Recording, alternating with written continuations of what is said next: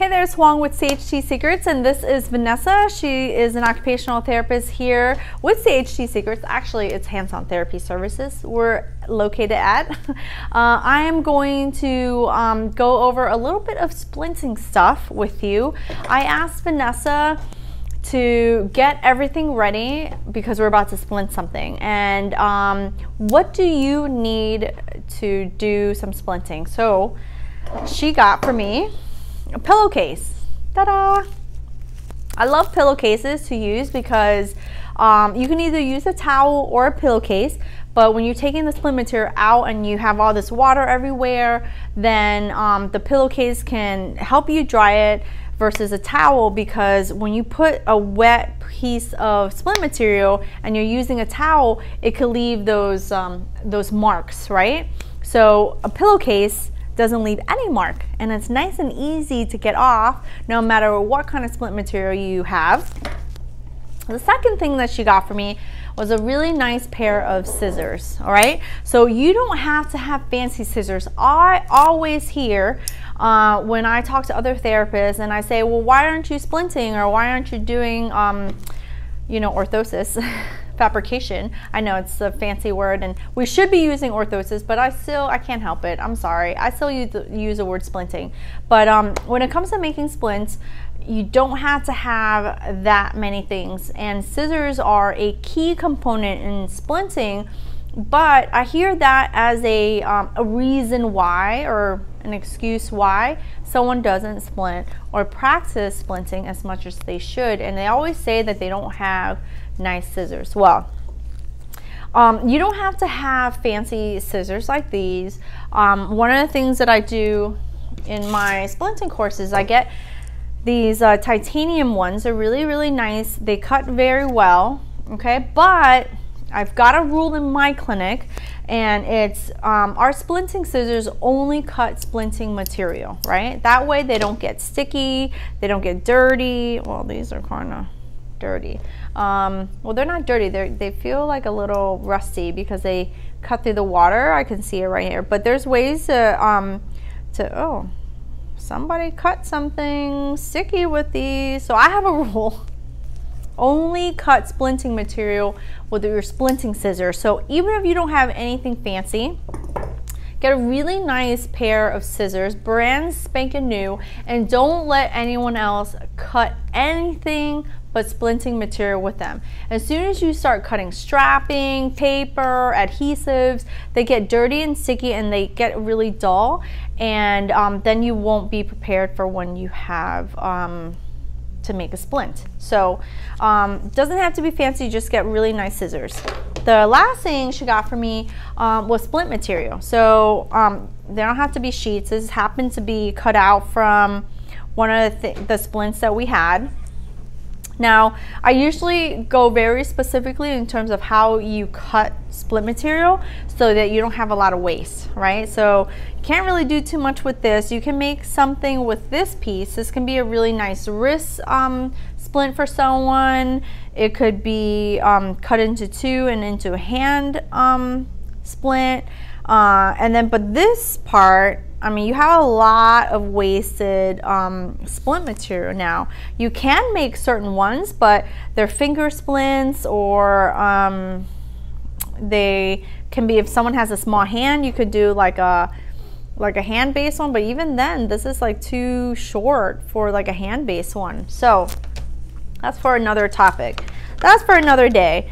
Um, but I wanted her to get some splint material because one of the most important things about splinting is that you've got to practice your cutting skills, right?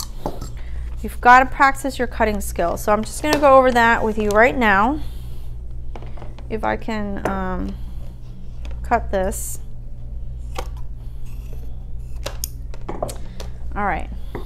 Can you cut this? So I'm going to take this long thing and I'm going to cut it in half.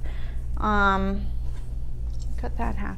So one of the things um, when you're working with splint material is to learn how to cut and cut really nice and smooth. And then as you practice, you get faster and faster, okay? So I've got some splint material heated up. in my in my splint pan. Now that's the last thing you need, right? The splint pan. Let me tell you, I searched far and wide for this splint pan. See my splint pan back here? Ta-da! Um, but you don't have to have something so fancy, actually. I hardly ever use our splint pan because I'm always using the hydrocollator. uh, because it heats up really fast for me and I really like that. Um, so if you don't have a splint pan, you can use that if you're in a clinic. If you're at home, then just get a pot. Just get a like a really nice um, pot that is uh, wide and just fill it up um, two thirds away with water and just put it on simmer. And you can practice your splinting and you can practice your splinting skills. And you obviously you're gonna make like a hand base one. You're not gonna do really huge elbow ones or shoulder ones, but um, at least you're practicing because once you start practicing how to handle material, how to cut the material, it makes a really big difference. So I'm gonna put this back in just for another second because I started, I took it out and I started talking. So, um, yeah, what? Oh, you could use Yeah, I'm gonna use it. Oh, another tip is, okay, so I don't use tongs. I should have tongs, but I don't use tongs. I use scissors to pull out my splint um, material. Now, I'm going to tell you, if you use these splinting scissors, then um, if they get hot, they're going to stick the splint material, and then it makes it really tough to um, to cut with. Can you um, pan, like move the pot and pan out, and then that way we can include our table? So yeah, I just move it a little bit. So I'm gonna take this out. Perfect. There you go. So I'm gonna show you how to handle splint material. So the most important thing is to not just like hold it with the tips of your fingers. Um, you want to make sure that you're handling it as little as possible so that you don't put indents in it. So if you're just, if it's hot and you're grabbing it like this, uh, you're gonna put your thumb through, you're gonna stretch the material.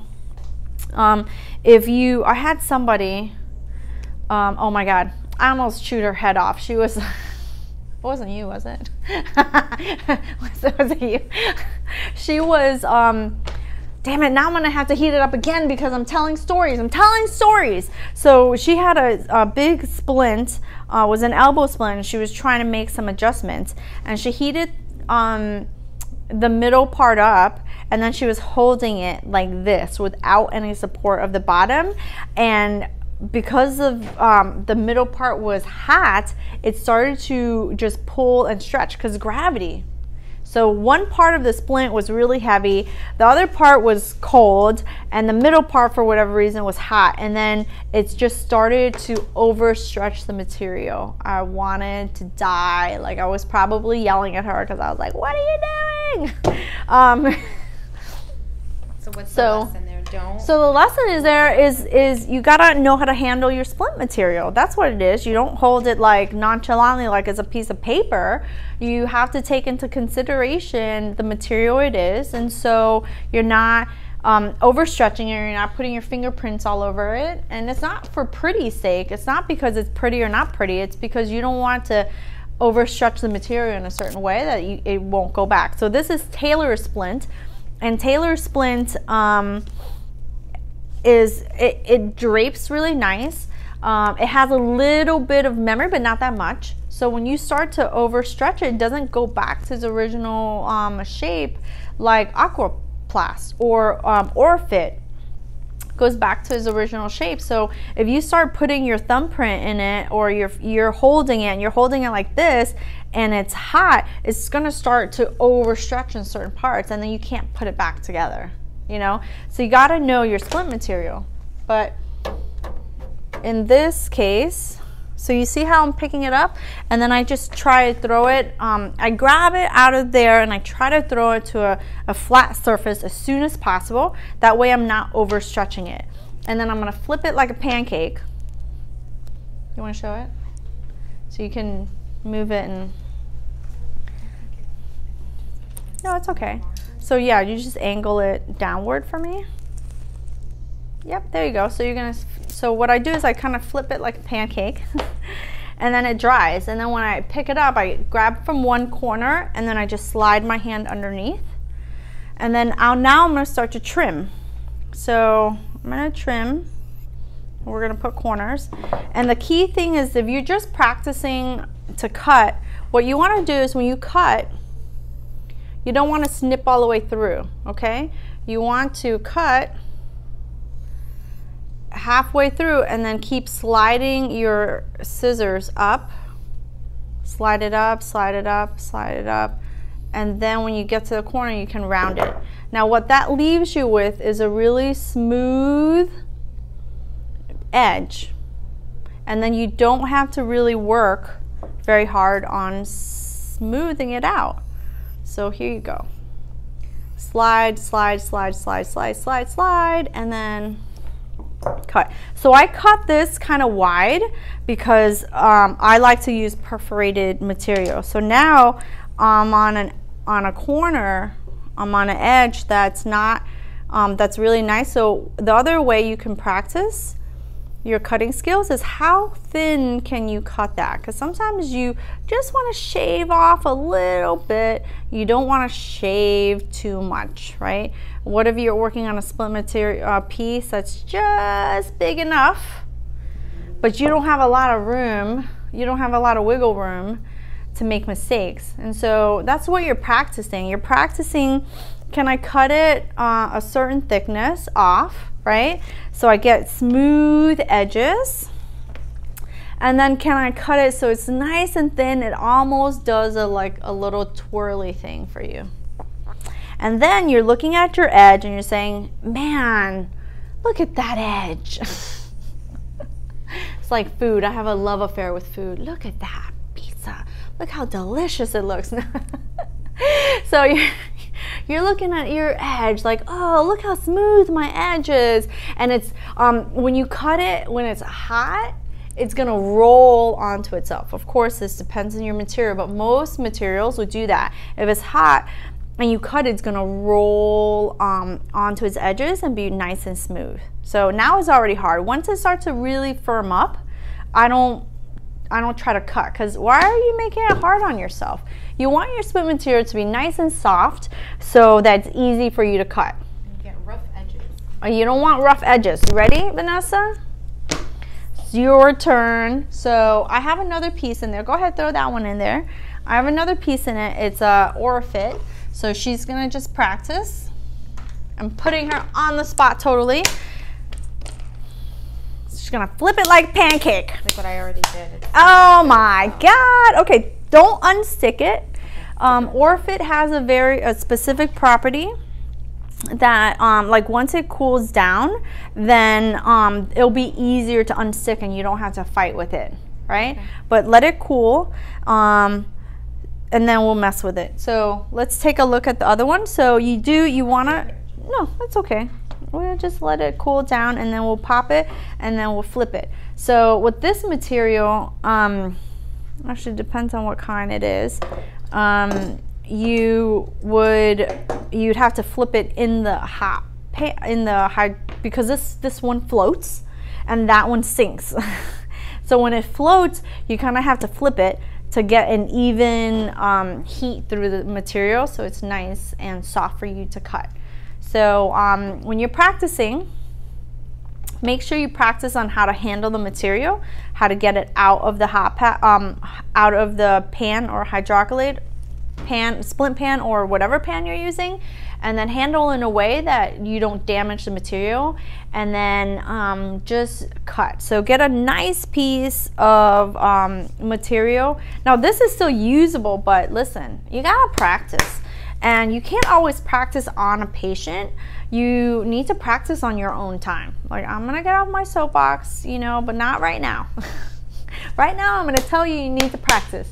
Um, so if you get yourself um, some scraps, then look, yes, very nice. Yeah, yeah, that's okay. But you can, you know, yeah, the edges aren't so, smooth as I'd like. Yeah. So, and you, all you have to do is you just feel it. You say, oh, but yeah, so I can feel it here and here, uh, but otherwise very good. Yeah, so it's nice and smooth. It's not that bad. The other thing you're practicing is rounding your corners, right? So you're just gonna come and you're gonna round. Um, so after you do, after you do that, then uh, round your corners. And um, so we'll do it here and we'll see how your corners round. Yeah, yeah, I put it in the hot water again and, and practice. So when it comes to splinting or making uh, splints, you just gotta practice. And one of the basic things that uh, you wanna practice is your, your cutting skills. Once you get better and better and more comfortable with your cutting skills, then we'll go over some molding and patterns and all that jazz for you. So that's a little tidbit um, on cutting skills. If you are somebody who's interested in learning more about splints, then let me know because I'm about to um, get together a online splinting class. online splinting class um, so that we can so we can get you practicing so we can build your confidence and your skills when it comes to making splints because it's really an important um, skill when it comes to occupational therapy and hand therapy, and I want you to have it.